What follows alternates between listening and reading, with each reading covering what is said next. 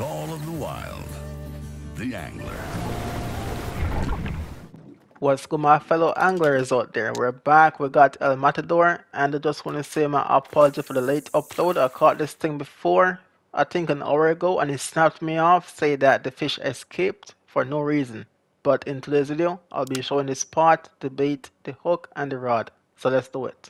First of all, y'all gonna need a strong bottom rod setup to go for this thing. And I recommend the 44 pound rod in the shop if you have it, and the Pure Champion or you know something that's balanced. I use the newest bottom rod 66 pounds with uh, a level 9 to reel and it's good. However, the fish was still not easy to get on it so you know it's going to give you a fight. It's 89 pounds and it's a monster.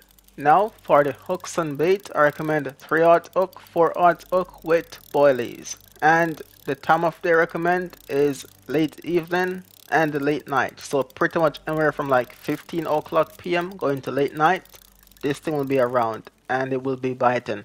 However, if you missed it first time, it might take some time to come back around because after I've missed the fish the hour ago, it didn't bite for the next couple of minutes. So be wary guys.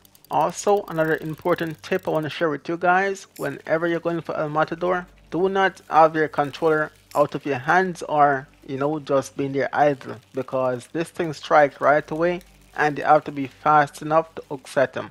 With that said guys, it's the first monstrosity of a carp they added in the game. Great fight, great fish, and it's recommended. But you all have to have good setup to go for it, right time of day, right hooks, and right baits. With that said guys, this is a spot. If you want to see it right away, just skip to the end of the video and you're going to see it exactly where I'm at.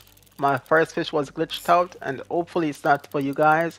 But with that said, try this video out. Hopefully it's helpful and I will see you guys in the next one.